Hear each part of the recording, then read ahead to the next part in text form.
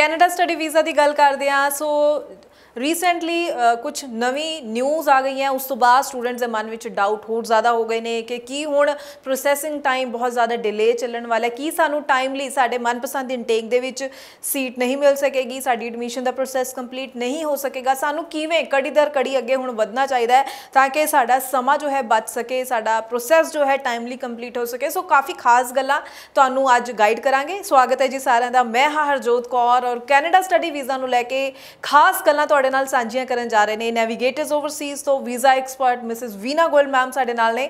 ਬਹੁਤ ਬਹੁਤ ਸਵਾਗਤ ਹੈ ਮੈਮ ਸਤਿ ਸ਼੍ਰੀ ਅਕਾਲ। ਸਤਿ ਸ਼੍ਰੀ ਅਕਾਲ। ਸੋ ਮੈਮ ਦਾ 26 27 ਸਾਲਾਂ ਦਾ ਐਕਸਪੀਰੀਅੰਸ ਹੈ, ਸਾਰੇ ਸਟੂਡੈਂਟਸ ਇਹ ਜਾਣਦੇ ਨੇ, ਜਿਹੜੇ ਵੀ ਮੈਮ ਦੇ ਨਾਲ ਵੀਡੀਓਜ਼ ਦੇ ਜ਼ਰੀਏ ਵੀ ਜੁੜਦੇ ਨੇ ਲਾਈਵ ਸੈਸ਼ਨ ਦੇ ਦੌਰਾਨ ਵੀ ਜੁੜਦੇ ਨੇ ਸੋ ਮੈਮ ਅੱਜ ਆਪਾਂ ਗੱਲ ਜੋ ਮੈਂ ਸਟਾਰਟਿੰਗ ਵਿੱਚ ਹੀ ਕੀਤੀ ਹੈ ਕਿ ਹੁਣ ਜੋ ਰੀਸੈਂਟ ਨਿਊਜ਼ ਆ ਰਹੀਆਂ ਨੇ, ਕਿਉਂਕਿ ਬਹੁਤ ਸਾਰੇ ਡੈਲੀਗੇਟਸ ਨੂੰ ਵਾਪਸ ਜੋ ਹੈ ਇੰਡੀਆ ਵੱਲੋਂ ਭੇਜਿਆ, ਭੇਜਣ ਦੀ ਗੱਲ ਕੀਤੀ ਗਈ ਹੈ, ਤਾਂ ਉਸ ਤੋਂ ਬਾਅਦ ਹੁਣ ਪ੍ਰੋਸੈਸਿੰਗ ਟਾਈਮ ਡਿਲੇ ਦੀ ਗੱਲਾਂ ਆ ਰਹੀਆਂ ਨੇ, ਕੀ ਕਹਿਣਾ ਚਾਹੋਗੇ ਇਸ ਦੇ ਉੱਪਰ ਸਟੂਡੈਂਟਸ ਨੂੰ ਕੀ ਕਹਿਣਾ ਚਾਹੋਗੇ ਤੁਸੀਂ? ਹਰਜੋਤ ਦੇਖੋ ਜਿਹੜੇ ਬੱਚੇ ਨੇ ਕੈਨੇਡਾ ਜਾਣਾ ਉਹਨੇ ਕੈਨੇਡਾ ਹੀ ਜਾਣਾ ਹੈ ਠੀਕ ਹੈ? ਹਰ ਐਪਲੀਕੇਸ਼ਨ ਆਨਲਾਈਨ ਹੁੰਦੀ ਹੈ ਸਬਮਿਟ ਤੇ ਜਿਹੜਾ ਵੀਜ਼ਾ ਅਪਰੂਵਲ ਹੈ ਪੀਪੀਆਰ ਰਿਕੁਐਸਟ ਆਨਲਾਈਨ ਆਉਂਦੀ ਹੈ ਉਹਦੇ ਵਿੱਚ ਤੇ ਕੋਈ ਫ਼ਰਕ ਮੈਨੂੰ ਦੇਖਣ ਨੂੰ ਨਹੀਂ ਲੱਗ ਰਿਹਾ।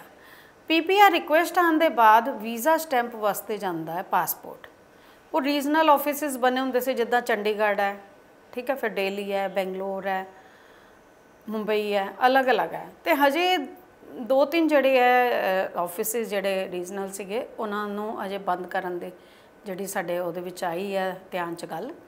ਤੇ ਡੇਲੀ ਆਫਿਸ ਜਿਹੜਾ ਕੰਮ ਕਰੇਗਾ। ਹੁਣ ਕੀ ਹੈ ਪਾਸਪੋਰਟ ਸਟੈਂਪਿੰਗ ਜਿਹੜੀ ਸਮਝੋ ਪੰਜਾਬ ਦੇ ਬੱਚਿਆਂ ਦੀ ਚੰਡੀਗੜ੍ਹ ਜਾ ਰਹੀ ਸੀਗੀ, ਜਾਂ ਕੁਝ ਹਰਿਆਣਾ ਦਾ ਏਰੀਆ ਜਾਂ ਜਿਹੜਾ ਥੋੜਾ ਜਿਹਾ ਪਾਣੀਪਤ ਤੇ ਉਧਰ ਦਾ ਏਰੀਆ ਉਹ ਸਾਰਾ ਦਿੱਲੀ ਜਾਂਦਾ ਸੀਗਾ। ਤੇ ਉਹ ਪ੍ਰੈਸ਼ਰ ਜਿਹੜਾ ਹੁਣ ਖਾਲੀ ਸਾਰਾ ਦਿੱਲੀ ਆਫਿਸ ਤੇ ਚਲਾ ਜਾਏਗਾ ਸਟੈਂਪਿੰਗ ਦਾ।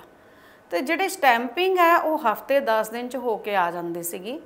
ਹੁਣ ਹੋ ਸਕਦਾ ਉਹਦੇ ਵਿੱਚ ਡਿਲੇ ਹੋ, ਕਿਉਂਕਿ ਉਹ ਖਾਲੀ ਇੱਕੋ ਆਫਿਸ ਤੇ ਪੂਰੇ ਇੰਡੀਆ ਦਾ ਪ੍ਰੈਸ਼ਰ ਪੈ ਜਾਣਾ।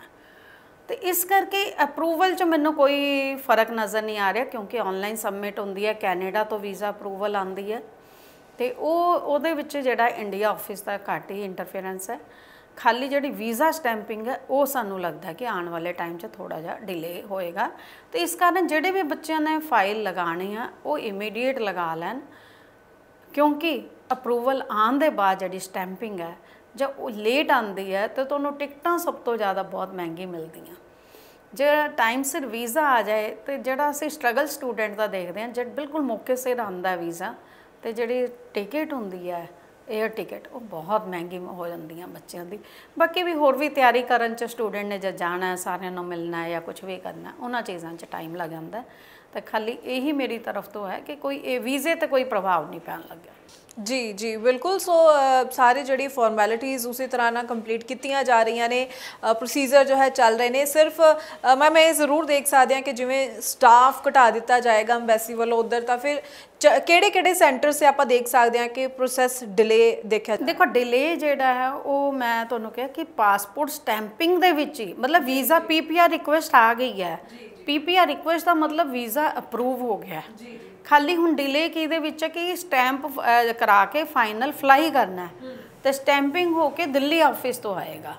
ਹੁਣ ਸਾਰੇ ਓਵਰ ਓਵਰਆਲ ਇੰਡੀਆ ਦਾ ਜੇ ਕੰਮ ਸਾਰਾ ਇੱਕ ਦਿੱਲੀ ਆਫਿਸ ਚ ਆ ਗਿਆ, ਜਿੰਨੇ ਇੰਨੇ ਸਾਰੇ ਪ੍ਰੋਸੈਸਿੰਗ ਸੈਂਟਰ ਨੂੰ ਛੱਡ ਕੇ ਖਾਲੀ ਇੱਕ ਆਫਿਸ ਕਰ ਰਿਹਾ ਨੈਚੁਰਲ ਹੈ, ਉਸ ਚੀਜ਼ ਨੂੰ ਫਿਰ ਥੋੜਾ ਜਿਹਾ ਡਿਲੇ 5-7 10 ਦਿਨ ਦਾ ਹੋਰ ਡਿਲੇ ਹੋਏਗਾ। ਹੂੰ।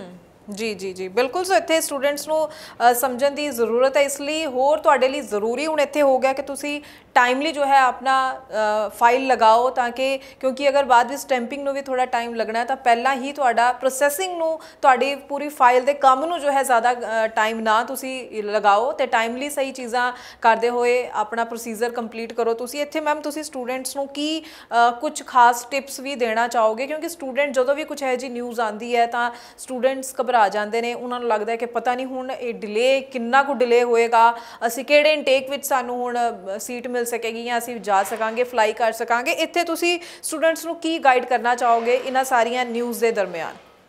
ਦੇਖੋ ਸਟੂਡੈਂਟਸ ਦੇ ਵਾਸਤੇ ਮੇਰੀ ਖਾਲੀ ਇਹੀ ਰਿਕੁਐਸਟ ਹੈ ਕਿ ਜਿਹੜੀ ਵੀ ਫਾਈਲ ਲਗਾਉਣੀ ਹੈ, ਬਹੁਤ ਸਾਰੇ ਸਟੂਡੈਂਟਸ ਹੈ ਜਿਹੜੇ ਇਹ ਸੋਚਦੇ ਰਹਿੰਦੇ ਆ ਕਿ ਹਜੇ ਤੇ ਮੈਨੂੰ, ਮੇਰੇ ਕੋਲ ਟਾਈਮ ਹੈ।